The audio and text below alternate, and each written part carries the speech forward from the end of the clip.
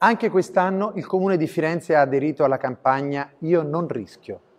Firenze è da sempre impegnata nello studio dei rischi del territorio e nella loro prevenzione. La nostra città è particolarmente vulnerabile per quanto riguarda i rischi naturali e per quelli antropici. Il rischio prevalente rimane sicuramente quello idraulico, dato dal fiume Arno ma anche dai numerosi affluenti del reticolo minore che esigono particolare attenzione.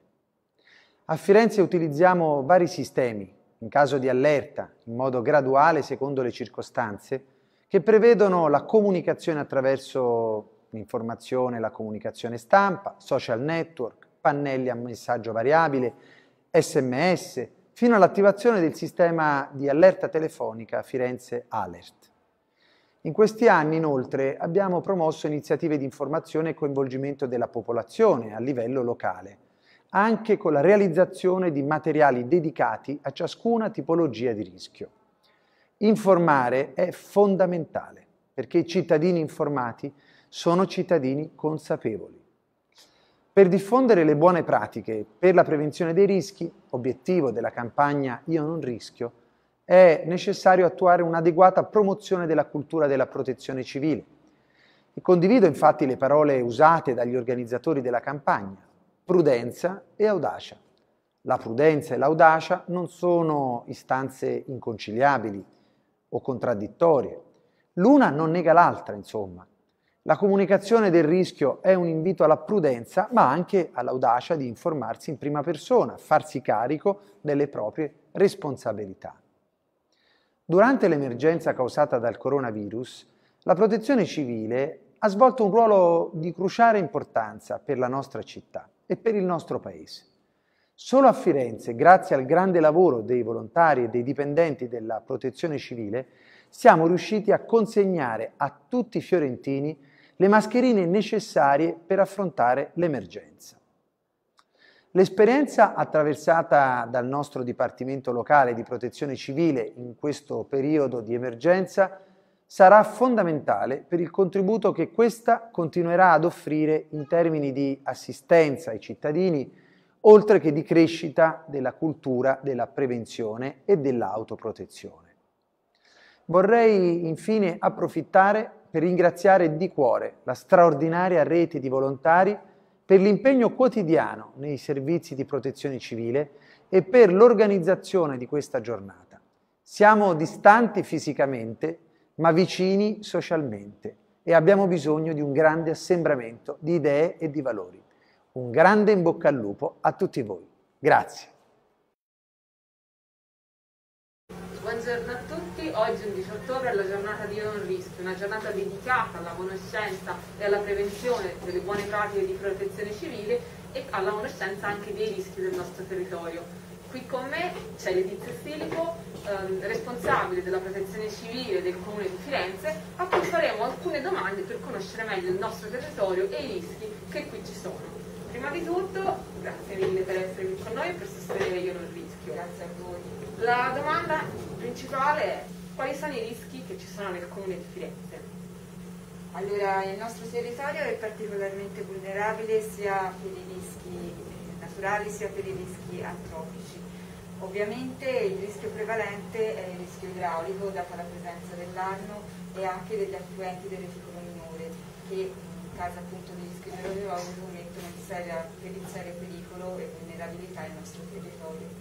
Durante questi episodi la protezione civile non solo mette in atto il monitoraggio di questi eventi tramite procedure informatiche, ma va sul posto con personale della protezione civile e volontari a effettuare questi traslochi virtuosi per verificare appunto l'innalzamento delle acque. Ecco, mh, mm, mi pongo nei panni del cittadino di, di Firenze. Mm, se io volessi approfondire il piano di protezione civile e i rischi, ma anche capire un po' se la via dove abito è più soggetta o meno al rischio idraulico, cosa posso fare, dove posso andare? Bene, il piano di protezione civile è consultabile presso il nostro sito protezionecivile.comune.fi.it Lì i cittadini possono verificare quali sono le misure messe in atto e predisposte e pianificate per ehm, risolvere e fronteggiare i vari rischi che possono colpire un. Ecco, mh, mm, oltre al piano di protezione civile credo che per un cittadino sia importante anche conoscere dov'è l'area di attesa più vicina alla propria abitazione e al proprio luogo di lavoro.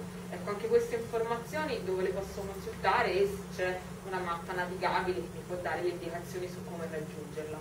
Allora, anche queste informazioni possono essere reperite sul nostro sito, quindi protezionecivile.comune.it, nella sezione cartografia. All'interno c'è appunto la cartografia con la dislocazione delle aree di accoglienza che su Firenze in totale sono 21.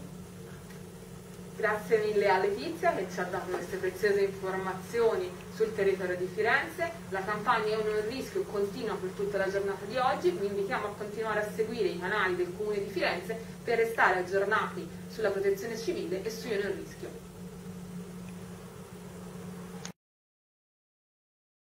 Ciao ragazzi, io sono il Pedro e anche io non rischio, anzi un rischio. Quest'anno purtroppo non potremmo fare la nostra solita grande Quest'anno purtroppo non potremmo fare il solito evento dedicato a questa giornata così importante, ma ci ritroveremo tutti insieme nel magico mondo di internet. Perché è importante ragazzi sapere come comportarsi in caso di terremoto, in caso di soprattutto alluvione. E noi fiorentini ne sappiamo qualcosa purtroppo. Quando arriva il 4 novembre eh, a Firenze, qui eh, noi fiorentini bisognerebbe chiudersi in casa, sale, parecchio sale di dietro, orni rossi, tocca ferro a bestia. Dice perché? Come perché? Perché a Firenze ci sono state nel corso dei, dei, dei secoli parecchie alluvioni, no? Cioè l'Arno ha fatto il birbone diverse volte, ma due volte in particolar modo ha un pochino esagerato. Nel 1333 e nel 1966 furono due alluvioni pazzesche. In che giorno successero? 4 di novembre. Tutte e due il 4 di novembre.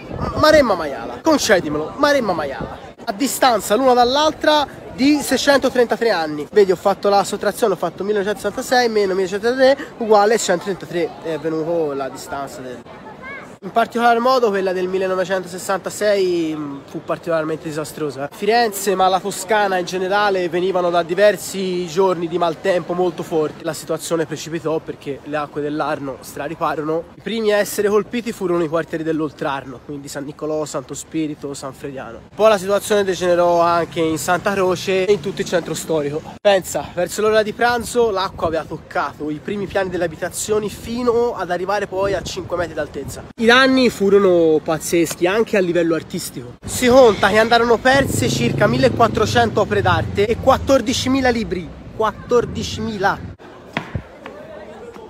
Buongiorno. I giorni dopo arrivarono soccorsi da tutta Italia, anche perché a quel tempo non c'era la protezione civile, quindi serviva, serviva gente sul campo con, con, la pala a levare via l'acqua e, e, e, tutta la mota. Fu uno dei gesti di solidarietà più belli della, della storia dell'umanità. Gli angeli del fango vennero chiamati questi ragazzi e spalavano. In memoria di quel giorno ci sono diverse targhe a giro per la città e ora io te ne faccio vedere due. La prima che ti voglio far vedere è qua, in piazza del Limbo. Ti ricordi? Qui dove si fece il video di culo con le 40 ore. Lassù in cima c'è la targa con scritto 4 novembre 66 l'acqua d'Arno arrivò a questa altezza. La seconda invece in questa piazzina qua puoi trovare tutte e due le targhe che ricordano le due alluvioni grosse quella più in alto è quella del 66 quella più grossa, più vecchia, è quella del 33. Firenze ce la fece abbastanza velocemente a tornare alla normalità. Venne fuori anche quel lato sarcastico nostro, venne fuori quel lato a pigliare per il culo di continuo che ci sa noi e non ci si fa togliere. Fuori da negozi, per esempio, no, c'era uno scrisse passi incredibili, prezzi sott'acqua. Uno fuori dalla sua trattoria scrisse oggi specialità in umido per no? Ma io voglio finire citando amici miei. La scena è che loro sono qui, no? Ai piazzale a guardare la città disperati no perché c'è i Perozzi ha lasciato l'amante il figliolo e la moglie Necchi c'ha i pesci nella macchina da caffè quindi sono qui disperati parecchio tristi quando a un certo punto il mascete si gira e gli fa ma che si fa oggi? Lo sci d'acqua? Bravo, quello che ci vuole! E allora impariamo da loro, non dimentichiamoci mai chi siamo, soprattutto in giornate come queste si ricordano eventi tragici per, la città. Noi siamo fiorentini, noi siamo Firenze, ci rialzammo quel giorno e ci rialzeremo sempre, sempre col sorriso e sempre con la voglia di pigliare per il culo. E tu pigli per il culo, tutti, tutti, alla tagliola, a secco. Fai bravo.